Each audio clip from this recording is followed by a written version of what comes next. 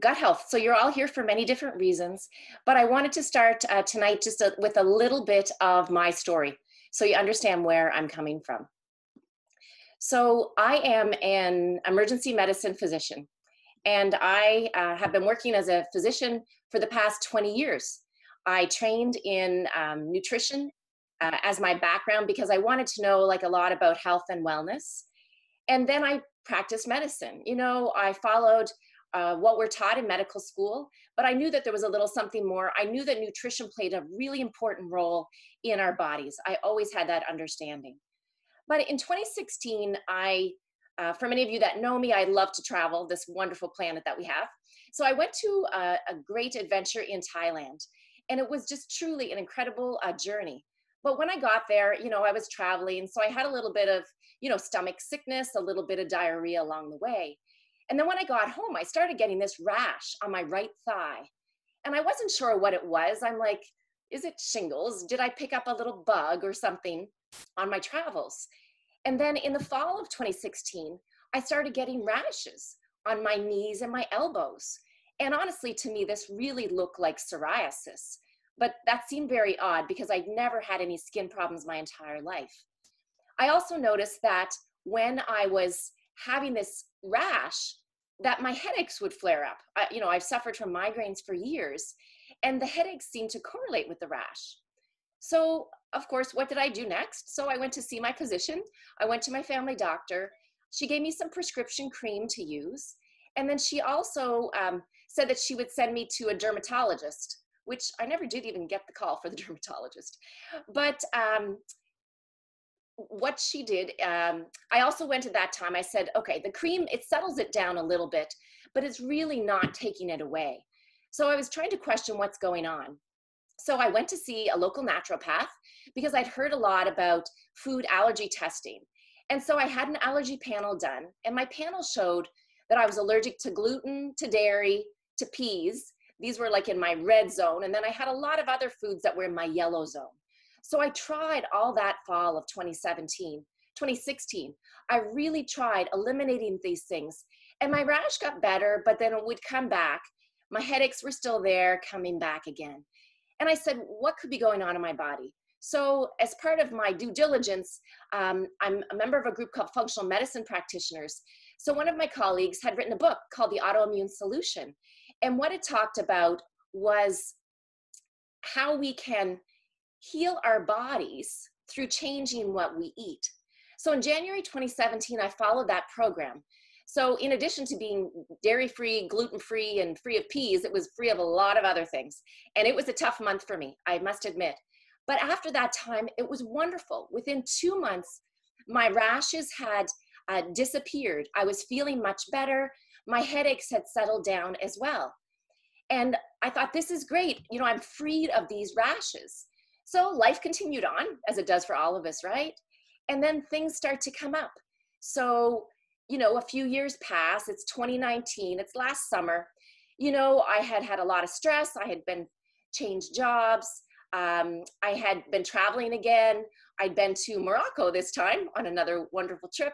And uh, I had some episodes of diarrhea there. And then, as many of you that are out there, you know, I realized that I'm becoming a perimenopausal female. And I was starting to have insomnia, some night flashes, hot flashes. And then, guess what? The rash came back. But this time it was really odd. It was on my right elbow and my left foot. Um, and also, I noticed that my right knee was starting to pain. Now, I'd never had any knee symptoms before, and I didn't damage my knee. And, you know, I had my physio look at my knee, and there was nothing wrong with it. But I said, there's something going on in my body.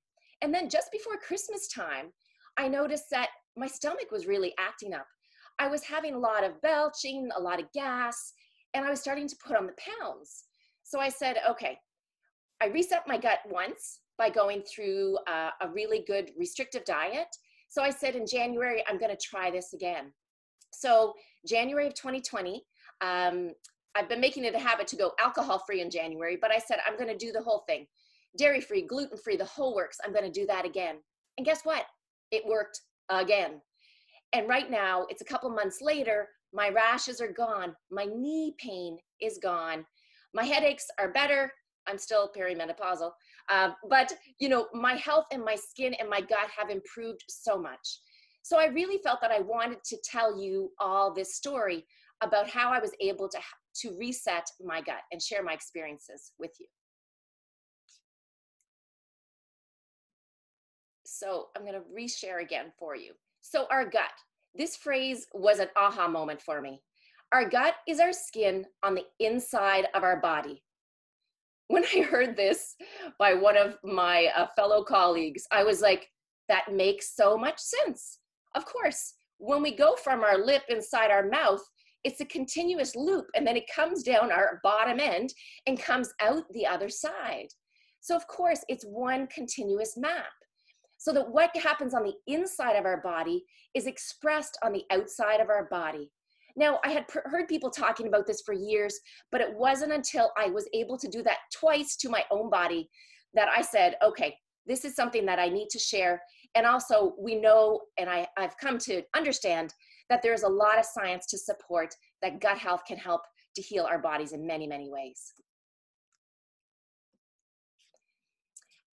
So, here we are. This is the functional medicine tree. So on this functional medicine tree, what you see is, um, for many of you that may have meditated or done yoga before, we all talk about how you feel grounded from the roots of the tree, that the roots hold you, that's your solid foundation, and then everything on the top is what happens. So when we look at how we're grounded, we look for the root cause of illness. And that's what functional medicine teaches us. We look for sleep, relaxation, exercise, nutrition, stress, relationships, and of course, food. And then there's a lot of other things that can influence that in our bodies as well.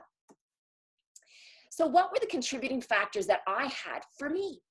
So, I started to look back at this and I said, okay, when I was a kid, you know, I ate the dirt. That wasn't a problem because mom put us outside all the time. You know, I was born in 71. But, you know, I was on a lot of antibiotics when I was a kid. That was kind of the number one thing to do is to put your kid on antibiotics. I suffered from acne as a teenager and they put me on long courses of antibiotics again for acne. And then I was on the birth control through my reproductive ages. And the birth control pill, we know for many women, can cause fungal overgrowth and an increase in the number of yeast infections that you get from the changes in your hormones. I traveled a lot and I'd been to Costa Rica, Haiti several times, and I really had a lot of bad gut bugs. You know, I had had these documented on many occasions. And then when I was in my early 30s, I had my gallbladder taken out. And I realized that you know, the gallbladder is a storage site for all your digestive enzymes. And when that's gone, that often your body and your, your digestion doesn't function just as well. And also, like most of you, you know, I enjoy alcohol. I like a glass of wine or two, especially when I travel. And like many of us too, there's times that we're going to indulge in sugar. And we might indulge, of course, in processed foods. Stress has a huge role to play on it as well. And also there's genetic influences that can have a role to play on our gut health. So then I went back to, of course, our godfather of medicine, Hippocrates, and he actually said, all disease begins in the gut. Now, perhaps not all disease, because I do think there's genetic components, of course, to everything, but many diseases begin in the gut.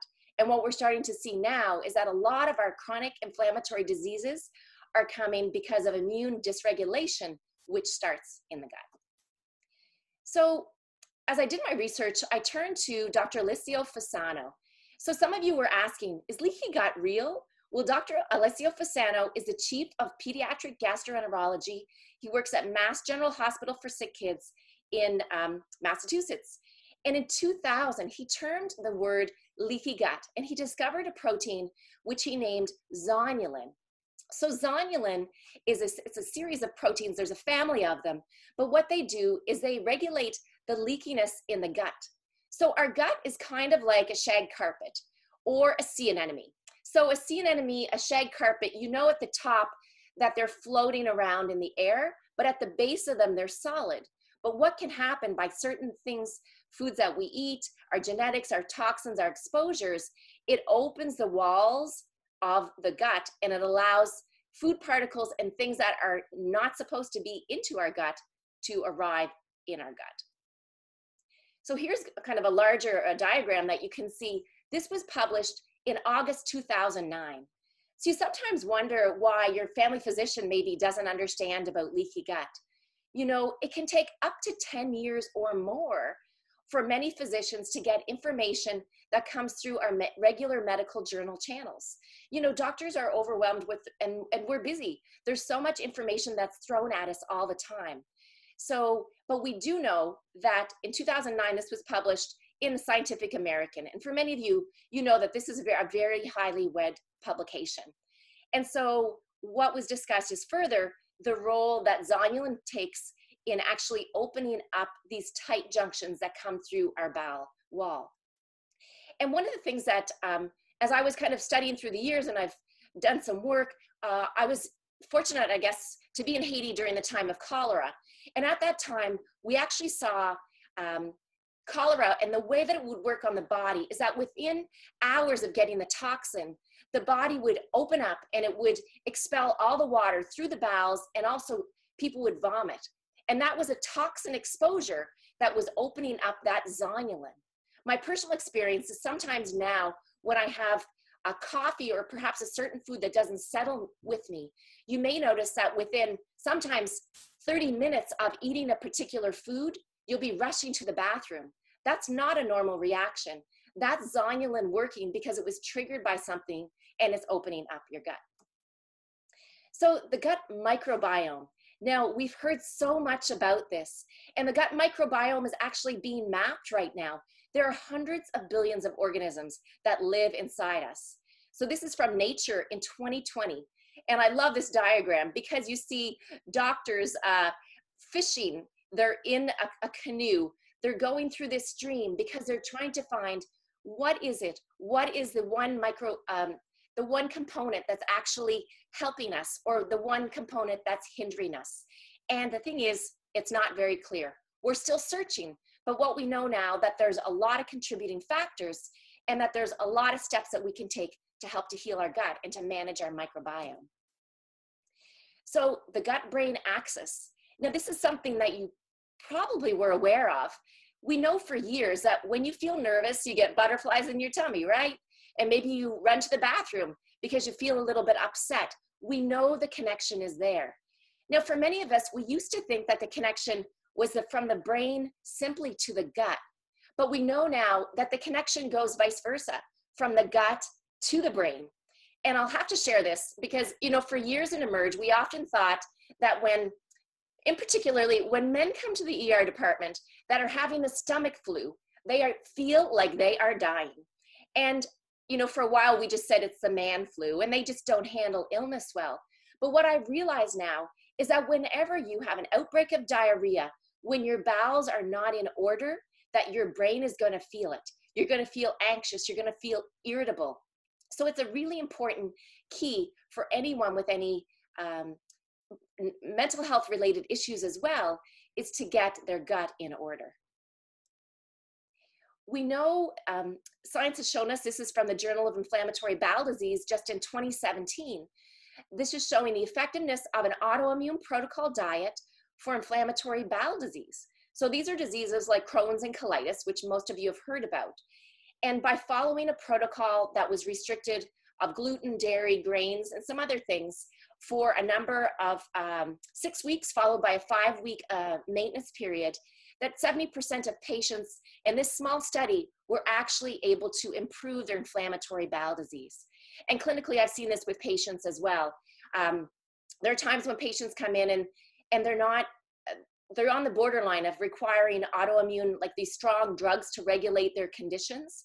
And some of them in the early phases have chosen to go for a natural approach, approach and they've been able to control their symptoms of Crohn's and colitis. So the gut and our mental health illness. So hold the Prozac, pass the poop pills. What? The poop pills? So this is my friend Val Taylor. Val and I went to med school together. And uh, what Val is doing is research. She's a psychiatrist and she's working out of the University of Calgary. And what she's been finding is that um, there is a link for sure between anxiety and our gut health. So she's actually giving transplants of poop to other patients to see if it's going to improve their mental health and wellness. Weight loss. You know, many people find that they try every diet in the world and it doesn't work. A couple years ago, I was uh, doing a presentation on the on the elimination diet, and a patient said, "She's like, Dr. Keenan, I heard you talk a few years ago, and I was struggling with weight loss for such a long time. And when you said that you need to reset your gut, she did that. After she did that, her weight started to drop off. Because many times we retain weight because we don't have the nutrients that we need in our body. And when we actually reset our gut, when we allow it to heal, when we remove inflammation from our body, then our body will go back into its own level of homeostasis or balance. So, what conditions are altered by and then also can be improved through gut health and through our nutrition? So, we know we've talked about Crohn's and colitis.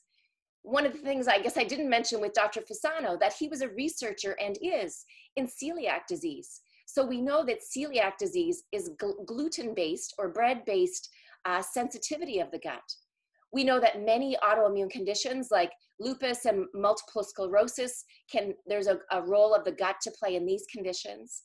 Chronic fatigue syndrome and fibromyalgia, I've seen remarkable differences in these patients when they've been able to simply even eliminate gluten from their diet. There's neurologic conditions like autism, uh, ADD, even Alzheimer's, that we're starting to see the roles and associations not only of the gut microbiome, but also even of the microbiome of the mouth. With the skin, you know, I've shared my story with you of eczema and uh, and my psoriasis and how that was able to be healed in me by uh, resetting my gut. And with arthritis, whether it's osteoarthritis or rheumatoid arthritis, we do see that dietary changes are going to have a big impact on those conditions. So, how did I do it? So, I'm sharing with you that, hey, I did it twice, you know, three years apart. So, I did the 4R program. So, as a functional medicine doctor, we are trained in this. This is not my uh, idea, but what we know is that when we remove the toxins, that's number one. So, we remove any of the fluids that can cause inflammation. And that's what I think was wrong when I just tried to eliminate just some of those foods that were on my uh, food program when I had my allergy testing. I didn't remove enough. So this is really a wholehearted, let's remove anything that can be inflammatory. Let's replace it with healthy foods. Let's replace it with things that are full of uh, micronutrients, that food, foods that are full of polyphenols. Those are the healthy, uh, you know, red and yellow and green vegetables that we have. And then these things are going to help to repair our gut. For some people, and I did take supplements at the time to help me on my 21 day uh, reset challenge that I did personally. And then, of course, we need to re inoculate. So we need prebiotics, we need the probiotics. Uh, we really have to get all those gut or microorganisms back in order to help as we're on that journey of resetting our gut. So, what is a gut health reset? So what I did is I went for 28 days, but today I'm going to, next week, I'm going to be taking you all through a journey for all of you that are willing to go on it with me. And it's going to be a 21 day gut health reset. So it will be dairy free, gluten free, grain free, and alcohol free. So what we'll be doing is adding to our diet tons of phytonutrients that are going to help us to heal our gut. There'll be no calorie restriction. So this is not uh, something that you have to worry about counting calories. But you'll start to recognize uh, your body awareness. So, how food is affecting your body. You'll track your emotions, you'll track how you're feeling, any headaches, any skin rashes that you're experiencing, and you'll see how those start to change as you're on this three week um, program. So, during the program, we're going to talk about a lot of important things because I know tonight that I have limited time to speak with you all, but we'll be talking about SIBO, which is small intestinal bacterial overgrowth. We'll talk about non celiac gluten sensitivity. We'll talk about a FODMAP diet that can help people with irritable bowel conditions. We'll talk about foods that have histamine, those that have nightshades. We'll talk about the vagus nerve and its role in resetting uh, our stress and also its role in resetting our gut and how it can help us to relax. So during the 21 day gut health program, what we'll be doing together. So you'll have a full meal plan.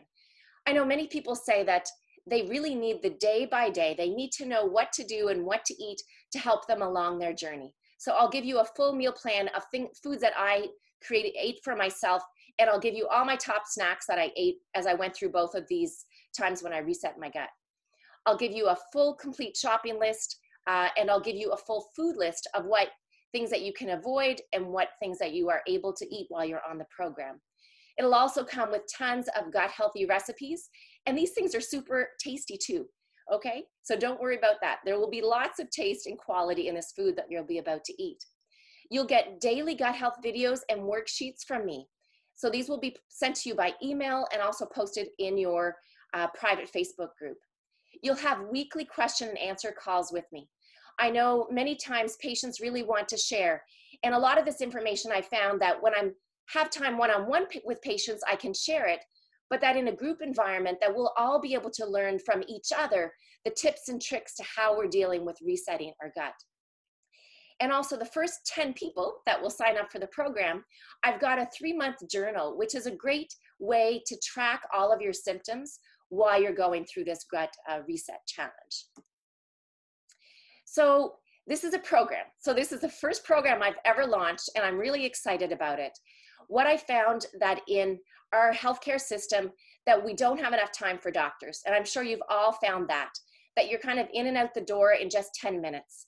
So I've taken all the tips that I've learned on how I was able to heal my own body during this time, and I'm going to share all that information with you.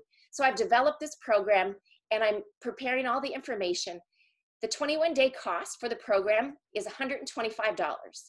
But for those of you that are listening in tonight, and if you use the promo code GUT HEALTH, you'll be able to do the program with me for $97. I'm really trying to make this very affordable for all of you.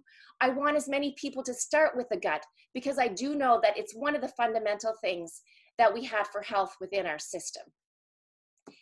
So it's going to be an incredible journey with you. Um, a better path for me. This is for those of you that may have taken one of my in person programs before. We know that this is a path, this is a journey. You know, I went through a gut health reset twice, and I know that there may be times due to exposures that I have that I may have to do a program again. You know, our life is changing. The knowledge that we have is changing. We're being exposed to new sources of information every day. So I look forward to you all joining me on the Gut Health Reset program It'll be starting on June the 1st. So I'll be sending you a link. It'll be posted on my Facebook page. And for those of you that are registered with your email, I'll send you the link by email about how you can register.